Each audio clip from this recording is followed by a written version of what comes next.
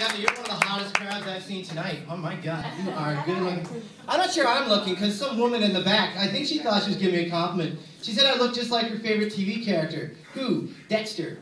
that, do I look like Dexter to you?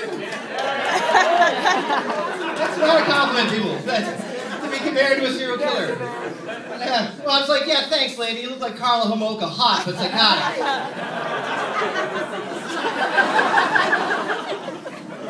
So uh, this is great, though. I'm on a whole quest for spiritual enlightenment, and uh, I went all the way from Korea to India looking for it till it hit me. I could just Google it. And, uh, oh yeah, do you know you should be Facebook friends with the Pope now? Sure, check it out. He's got over 2 million friends, but today I'm feeling pretty special because today the Pope poked me. poked him right back. Poke, poke, poke, poke. Checked his relationship status, single, so. There's hope. There's hope for me and the Pope. Yeah. Checked under his robe, nothing. I knew it. Yeah. Uh, but I, I didn't know that I had a drug problem until I was in Korea. I mean, I was there two years, no drugs. That was a problem. and, uh, nice place, nice people. They speak three languages there. They speak uh, Korean, English, and Konglish. It's kind of like a bastardization too. Like, for example, for uh, browsing, we'll call it window shopping. They'll call it eye shopping. Or we'll call a dog spot. They'll call it breakfast. You know.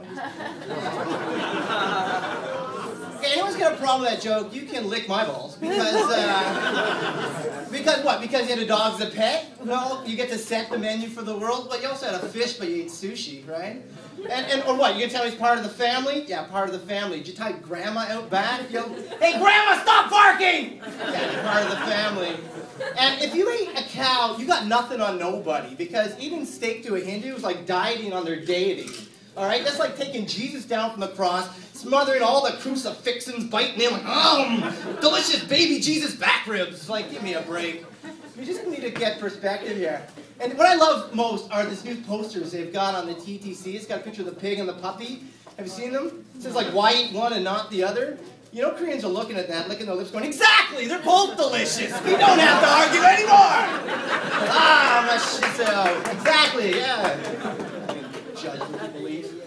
right. But what I'm amazed at most, though, is women. I mean, how you can multitask emotions? You guys are amazing. Like, I saw this driving my sister home recently. She broke up with her boyfriend, so... I just don't know what I'm going to do without him. I just... I just loved him so much. Oh, I just, I thought we were going to live together and get married. And... Okay, turn right here, and it's the second house in the right. The hell do you do that? Ladies, you're awesome. You should bottle that shit. You take over the world. Yeah, holy Jesus. But uh, driving, you know the cops now want to start doing blood tests to see if we're driving high? I mean, come on. If you think a guy's uh, on pot, hand him a bag of cookies. Time him.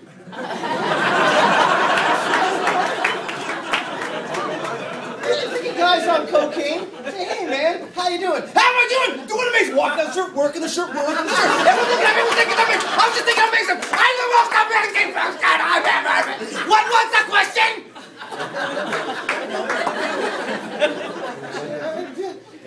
guy's on heroin, just wake him up. Hey, man, are you on heroin? Yeah.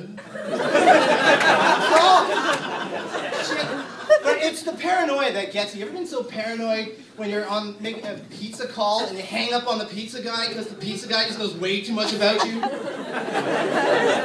of you know what I'm talking about, the rest of you there right now. That's paranoia. But the most paranoid I get is about marriage. Does anyone here know of a good marriage?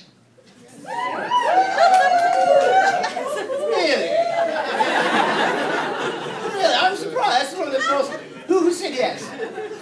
What? Did, you, it's not last time. Say it. Where are you? Here with your partner? Yes. Is that he, she? Um, hi. I'm not judging. That's cool. You know, each their own. Is that a, a, Sam? Sam? That's that's like Pat. That doesn't help. Sam. Sam, you didn't speak up, dude. You're in a lot of trouble when you go home. well, I, for me, I haven't ever seen one myself, because for me it's like the Loch Ness Monster marries Bigfoot, like the photos are all fuzzy, there's rumors, you know? And I think most of the problem is that we get married on the best day in our best clothes with our best friends and our best man, and people will show you pictures of their wedding, and people will show you pictures of their honeymoon, but nobody ever shows you a picture of the day they get back from the honeymoon, right? And it counts. Because there's nothing to look forward to at that point. The whole till death do you part starts to sound like the escape clause in the marriage contract. That, that's why I think we should get married in the worst day. We should get married in the worst weather, stuck on the TTC late for work. in front of people that just hate you.